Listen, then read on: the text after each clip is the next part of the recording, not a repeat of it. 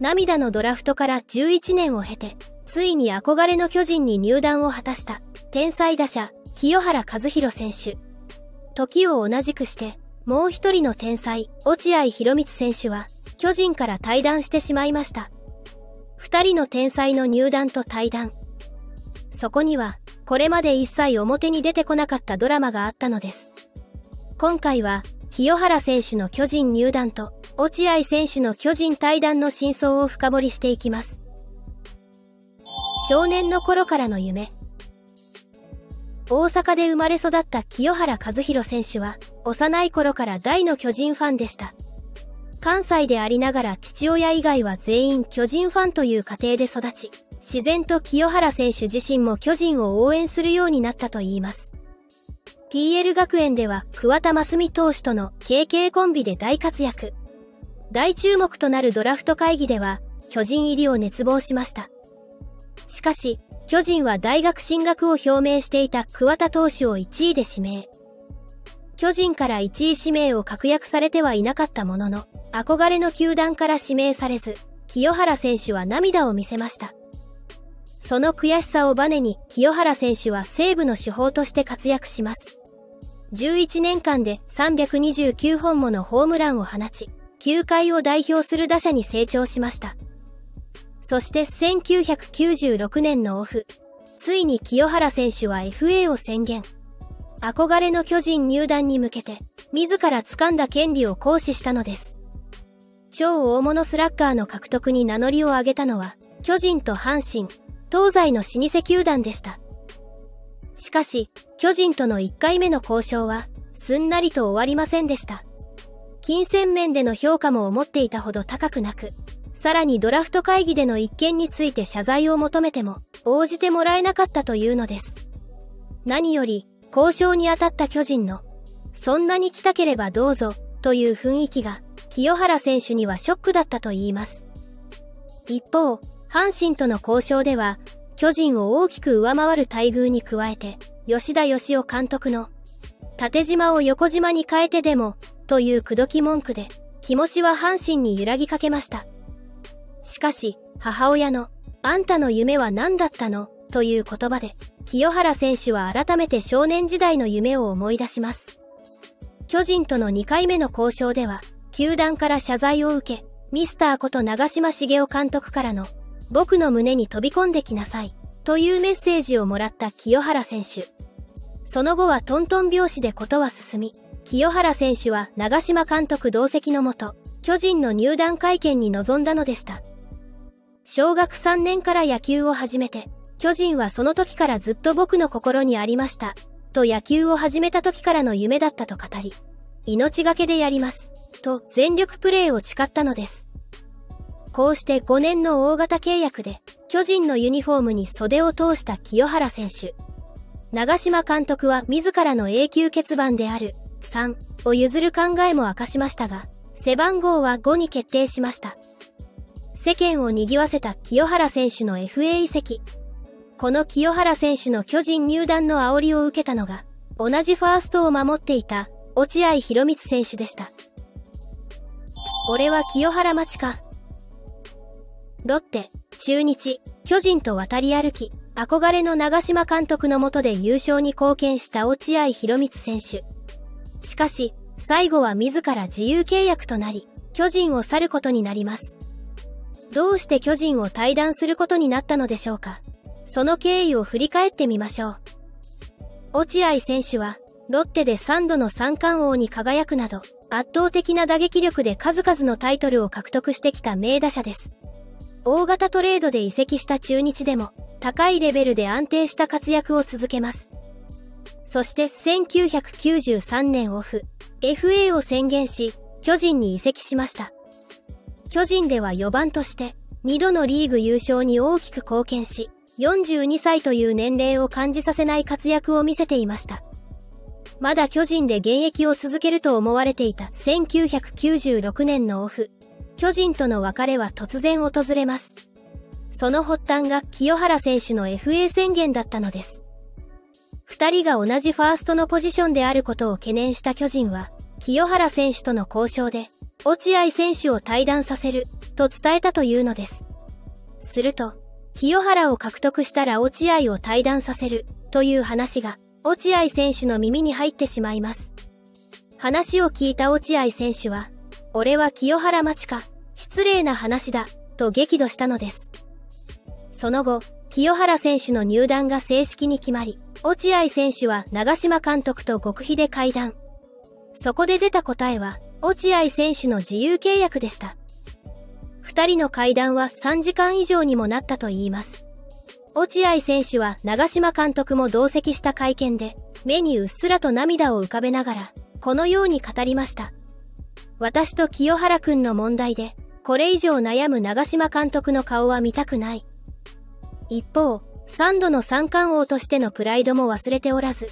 清原くんにはまだ負ける気がしない。だからよそに行ってやらせていただきます。と強気なコメントも残しました。同席した長島監督は、一つのポジションを二人で守るわけにはいかない、と苦しい胸の内を明かしました。お互いへのリスペクトを見せつつも、落合選手と長島監督が目を合わせることは一度もありませんでした。こうして大ベテランのレジェンドは、思わぬ形で巨人を去ることになったのです。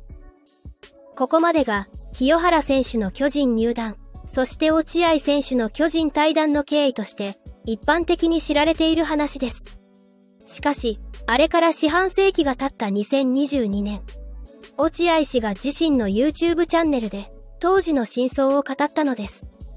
その内容は、当時報道されていたものとは全く異なるものでした。落合が明かした巨人対談の真相。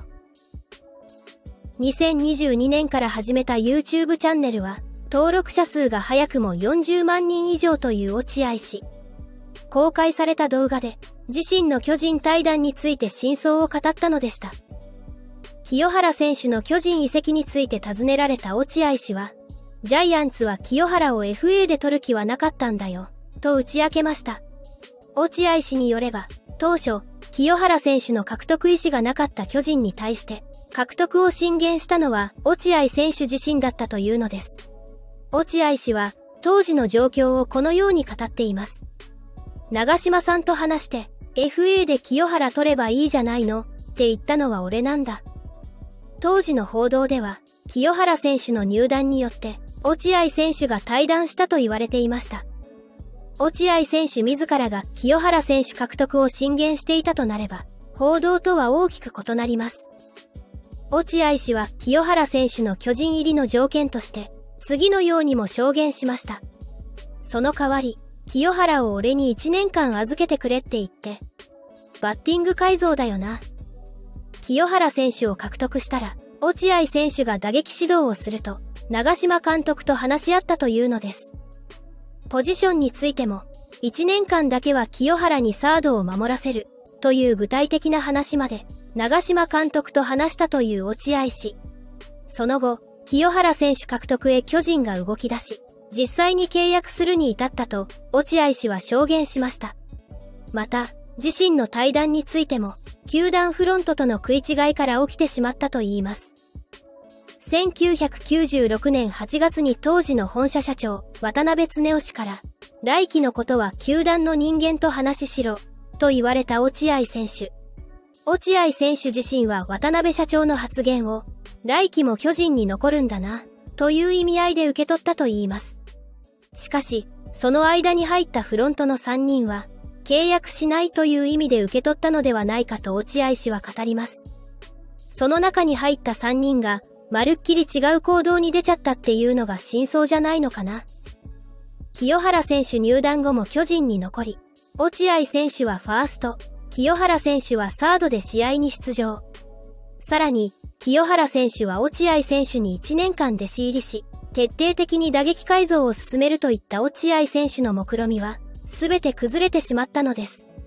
しかし、この落合氏の主張に対して、巨人サイドは真っ向から反論しているのです。清原を獲得したら、落合とは契約しない。落合氏の主張に反論するのは、当時の長島監督の下で参謀役を務めていた川田博道氏です。後に話題となった G ファイル長嶋茂雄と黒子の参謀という本の主人公でもあります。川田氏によれば、巨人が清原選手獲得を検討していたのは、1996年に FA で移籍する1年以上も前のことだったといいます。1995年8月に長島監督から呼び出された川田氏。当時の状況をこのように語っています。監督に会うや興奮冷めやらぬ様相で、清原、どうしますか？取れますよ、と。何でも、渡辺恒夫社長に呼ばれて、清原が必要か、必要なら取るよ、と言われたとか。そのため、落合選手が清原選手獲得を長島監督に提言した、というのは誤りであると川田氏は主張します。また、落合選手の対談については、1996年の8月13日に行われた渡辺社長と川田氏の話し合いで、清原を獲得したら落合と契約しないという方針が決定していたというのです。渡辺社長によりすでに決定事項だった落合選手の対談。川田氏の主張が事実なら、3人のフロントによって対談を余儀なくされたという落合氏の認識は誤りで、落合選手は渡辺社長にいいように操られていたことになります。さらに、清原選手を1年間落合選手に預けるという話についても、川田氏は完全に否定します。清原選手も、落合選手とプレーをしたいという思いはなかったと川田氏は語ります。実際に、清原選手は川田氏と交渉した際、巨人は落合さんと契約しないんですよね、と尋ねてきたと言います。川田氏はこの問いに、球団の総意として、清原獲得時には、落合と再契約しない、と申し合わせており、長島監督も同意されている、と正直に答えました。落合氏が20年以上経ってから明かした巨人対談の真相。しかし、事実とは異なる、と川田氏によって真っ向から否定されてしまったのです。落合氏と川田氏の主張は、どちらも全て事実なのかもしれません。しかし、立場や立ち位置が違えば見え方が違うものです。些細なことからボタンの掛け違いが生まれてしまい、主張が食い違ってしまった可能性も考えられます。2人の代打者の入団と対談をめぐる様々な憶測。今となっては何が真実なのか知る由もありません。落合選手と清原選手、さらに松井秀喜選手との超強力クリーンナップを見てみたかったですね。